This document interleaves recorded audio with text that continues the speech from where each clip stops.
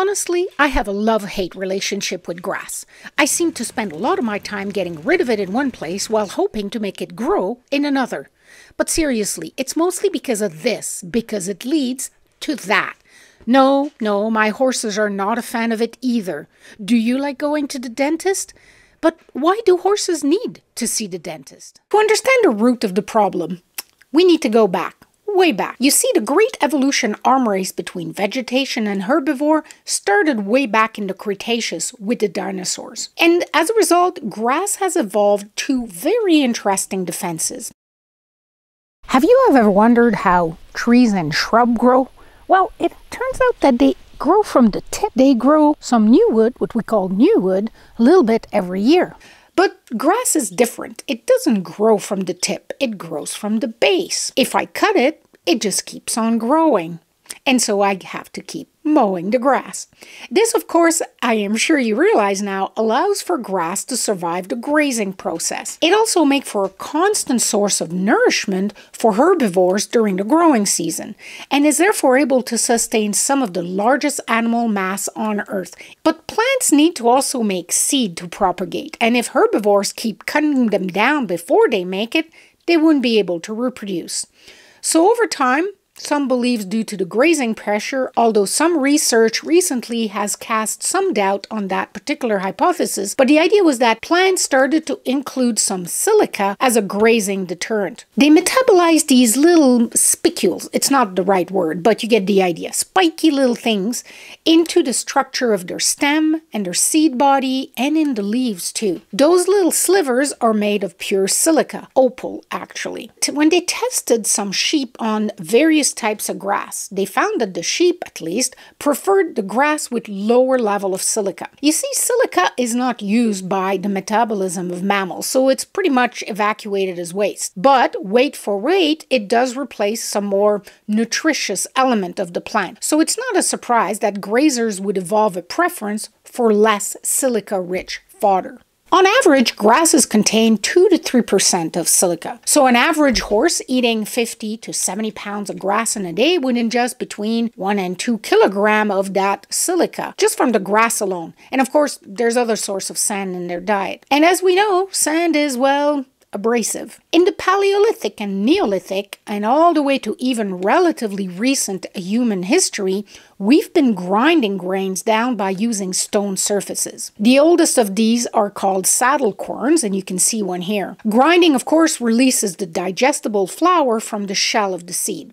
And cereal agriculture was a turning point for humans' shift from a mostly protein diet to one that could be supplemented with carbohydrate, such as those flat that flour that we grounded out. But the grinding incorporates bits and pieces of stone in the flour, and that abrades our teeth, and it shows up in the teeth that the archaeologists are uncovering. As you know, your adult teeth or your adult tooth is the end product. If you damage them as an adult, there is no repair possible without access to modern dentistry, of course. We did not evolve to eat a very abrasive food, but herbivores have. They mostly graze and naturally ingest other source of grit as they eat really close to the ground. So their teeth would be completely worn down in a few years if it wasn't for a clever, if not inevitable, adaptation that appeared in mammals roughly 25 million years ago.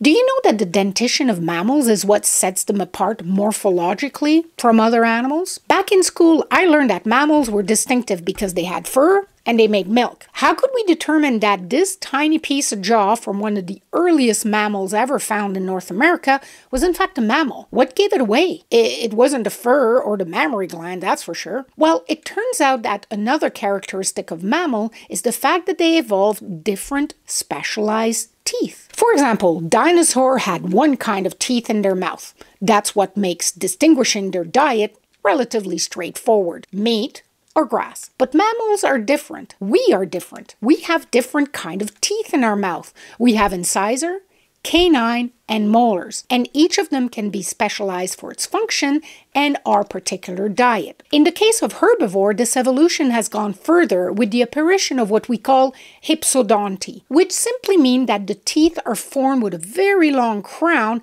that continuously erupt or pushes out of the gum. We human, we grow our teeth once as an adult, and we only have enamel on the top of it. But herbivores like cows and horses have enamel almost all the way down their teeth, almost all the way down to the root. That way, despite grinding their teeth down with the silica that's in plant in the grit that they pick up as they graze, horses can keep their teeth until they're, well, long in the tooth. Generally, horses run out of teeth between the age of 30 and 35. Foals are born with teeth, baby teeth, just like us, and they erupt out of the gum in the first few months. And then they lose those baby teeth in a sequence in between the age of 2 and 5 years old. These baby molars that we call caps are thin and they have shallow root, as you can see here, and they are worn down by a few years of eating grass.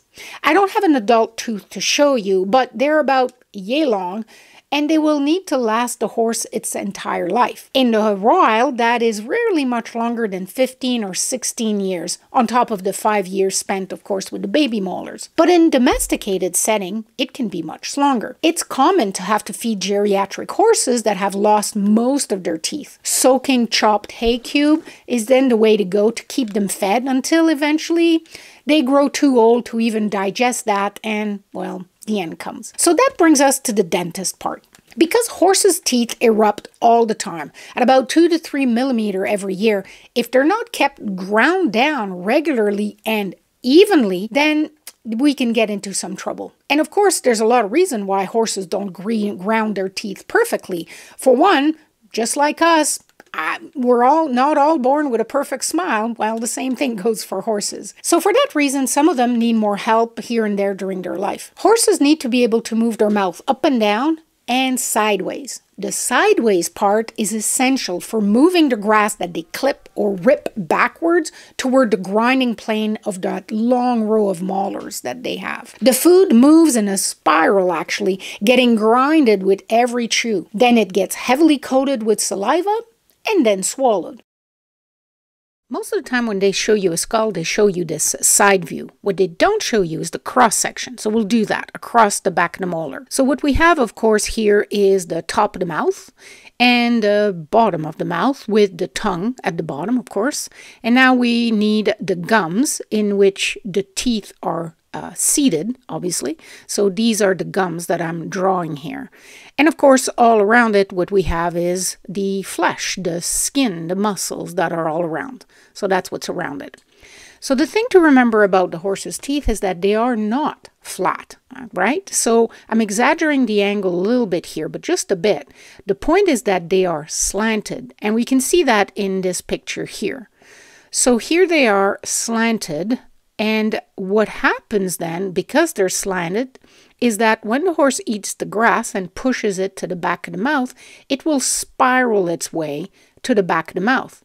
It'll get worked between the teeth and outside, but the cheeks are going to push them back in.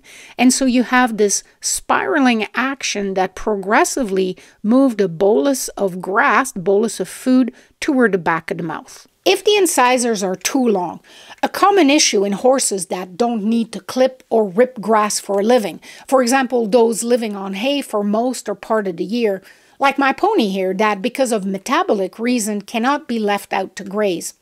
So, if those front teeth are not worn down by the same amount as the molar, then the leverage that they create prevent the back teeth from closing all the way, and the chewing performance is greatly reduced. If the angle of the teeth are not quite right for one reason or the other, then the teeth wear will be uneven and it could lead to sharp edges that can cut on the inside of the cheek. The list of reasons your horse's dentition should be looked at regularly is quite long, but the point is that this would not be a problem if those teeth were not continuously erupting. And horses might not have those kind of teeth have they not had to deal with the grit and the abrasive grass. So, yeah, when it comes to grass, it really is a love and hate thing.